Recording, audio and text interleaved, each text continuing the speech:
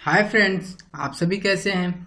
आज मैं किंटर की इस वीडियो में कुछ और आगे एक्स्ट्रा चीज़ें बताने वाला हूँ। जैसे कि पिछली वीडियो में मैंने कुछ चीज़ें बताई थी कि मैं ये करने वाला हूँ। मैं यहाँ पर पहले रन करा लेता हूँ और फिर हम बताएँगे कि इसमें क्या क्या करना चाहते हैं आज। आज हम इसका साइज़ थोड़ा बड़ा रखेंगे, ठीक? ये जो आइकन आपको दिखाई दे रहा है, इसको चेंज करेंगे। ठीक है? इसके अंदर एक फ्रेम लगाएँगे और उसमें एक लेवल सेट करेंगे। इतना काम हम आज देखेंगे और अलग अलग तरीके से कैसे कैसे कर सकते हैं। ओके? तो आइए चलते हैं हम अपने कोड में और स्टार्ट करते हैं कोडिंग करना। फ़िलहाल मुझे इसकी ज़रूरत अभी नहीं है। मैक्स साइज़ की तो हम इसको रहने देते हैं, कमेंट कर देते हैं। हम यहाँ पर करेंगे रूट डॉट कॉन्फ़िगर हमें कलर चेंज करना उसका। तो हम कॉन्फ़िगर देंगे।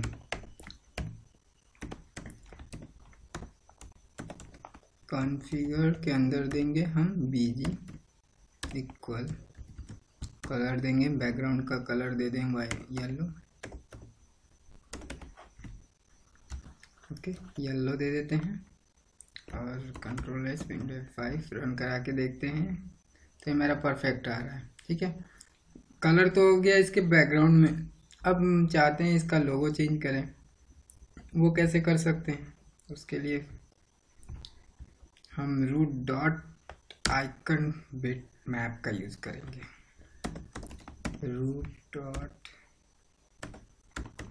icon bit map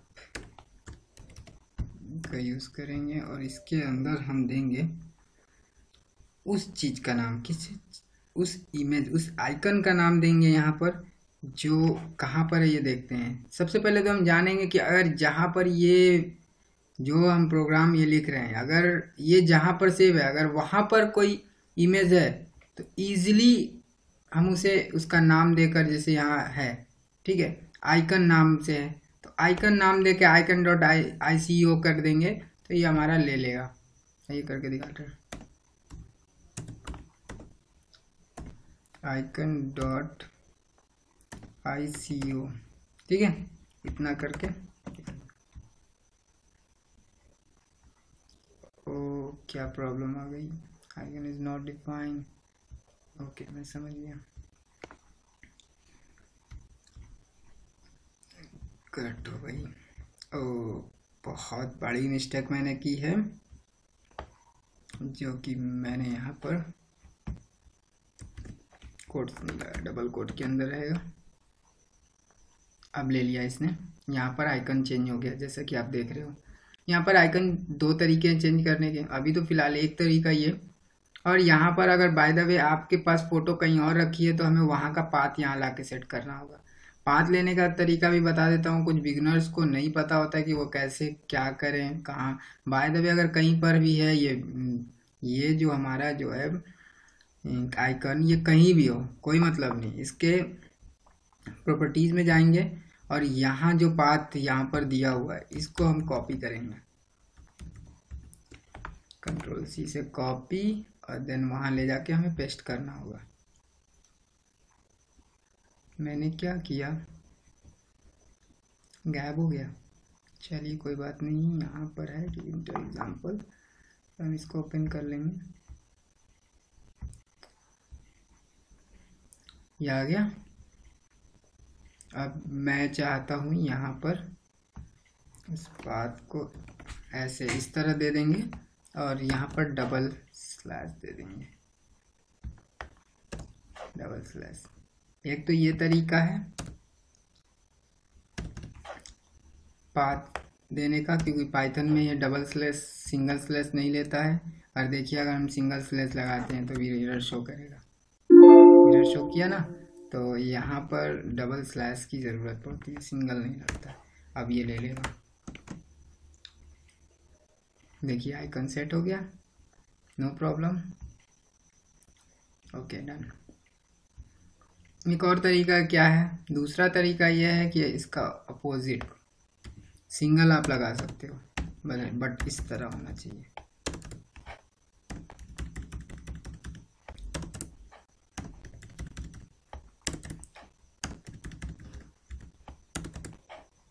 ठीक है? इस तरह होगा और ये सेट हो जाएगा। तो ये फिर भी आ गया, कोई प्रॉब्लम नहीं हुई। जल्दी हम दूसरा बताते हैं, क्योंकि ज़्यादा टाइम वेस्ट नहीं करेंगे प्रोग्राम ज़्यादा बड़ा भी नहीं है और ज़्यादा टाइम हम वेस्ट नहीं करना चाहते हैं। तो अब हम एक फटाफट फ्रेम बना लेते हैं। इतनी चीज़ें हमें समझ में आ गई, हम लोगों ने सब कुछ क्लियरली देखा। अब हम चाहते हैं फ्रेम बनाना। तो एक वेरिएबल ले लिया फ्रेम ओके यहाँ पर मैं फ्रेम लिखूँगा। एफ़ कैपिटल रहता है। अरे, फ्रेम। अब फ्रेम किसके अंदर आना चाहिए? रूट के अंदर तो हम रूट देंगे। यहाँ पर। और विद हाइट इसकी हाइट और विदित देख लेते हैं। विदित देंगे हम यहाँ पर फाइव हंड्रेड या एट हंड्रेड दिया हुआ है यहाँ पर। देखिए एट हंड्रेड दिया है तो एट हंड्रेड कर लेते हैं। हम एट हंड्रेड कर देंगे। Comma height H E I G S T होता है। हाइट देंगे हम, यहाँ पर हाइट देंगे फिफ्टी या सिक्सटी कर देते हैं। अब यहाँ पर मैंने इतना करने के बाद अगर मैं इसको रन कर रहा हूँ तो यहाँ पर मुझे कुछ भी दिखाई नहीं दे रहा, जबकि मुझे यहाँ पर एक फ्रेम दिखाई देना चाहिए, है ना? तो कुछ भी इसलिए नहीं दिखा रहा है, क्योंकि हमने पैक नहीं किया। एक्चुअली ये जब हम कभी पिकनिक के लिए जाते हैं, अब कोई सामान अगर घर पे ही छोड़ के जाएँ, उसे पैक ना करें, लेकर ना जाएँ तो क्या होगा? वहाँ मैं जहाँ पर पिकनिक मना रहे हो, वहाँ पर दिखाई देगा? शो ही नहीं करेगा ना? वहाँ तो दिखेगा ही नहीं। तो इसलिए यहाँ पर हमें पैक करने की ज़रूरत पड़ती है। तो पैक करने के लिए क्या हम करेंगे? Frame F R M frame को पैक करेंगे यहाँ पर। फ्रेम डॉट सी के पैक पैक कर दिया। पैक के अंदर हम पैड एक्स पैड वाई देते हैं कि एक्स एक्सेस में कितना और वाई एक्सेस में कितना हो दिखाई दे। तो पैड एक्स अगर हम इक्वल ज़ीरो दे देते हैं बट पैड वाई जो होते हैं फाइव या टेन दे के देख लेते हैं कि काम कर रहा है कि नहीं। पैड वाई इक्वल हम दे देते हैं टेन ओके? और देखते हैं। तो ये देखिए, हो गया। ये टेन उसने वाई एक्सेस से थोड़ा सा दूरी पर दिया उसने। डिफ डिफरेंट छोड़ दिया मतलब डिफरेंट हो गया थोड़ा सा चेंजमेंट और थोड़ा अच्छा लग रहा है देखने में। तो इसका हम फ्रेम चाहे तो ज़ीरो से, अगर ज़ीरो वैल्यू देंगे तो वो पूरा ज़ीरो से लेगा। हमने टेन दिया तो टेन उसने गैपिंग दी। तो मैं ये फ्रेम को, मैं चाहता हूँ कि ये कलर चेंज हो जाए। तो इस फ्रेम का कलर चेंज करने के लिए हम क्या करेंगे? यहाँ पर बीजी कलर दे देंगे। सॉरी यहाँ पर देंगे बीजी बीजी कल बैकग्राउंड कलर होता है। बीजी का फुल फॉर्म इसके अंदर अगर हम रेड दे देते हैं तो रेड आ जाएगा। और रेड देने के बाद इतना देख लेते हैं पहले। तो क्या हुआ ये? बीजी में कोई प्रॉब्लम अच्छा हाँ कॉमन ही लगाया लग रहा। इतना तो ठीक है परफेक्ट है। बैकग्राउंड रेड मैंने दिया है। ओ मैं यहाँ मुझे यहाँ नहीं देना चाहिए था। I am so so sorry मुझे यहाँ नहीं देना चाहिए, ये देना है मुझे। इसके अंदर। अब ये काम करेगा। तो ये आपके सामने आ गया रेड कलर अब हम चाहते हैं यहाँ पर एक लेबल दें। तो चलिए लेबल दे लेते हैं।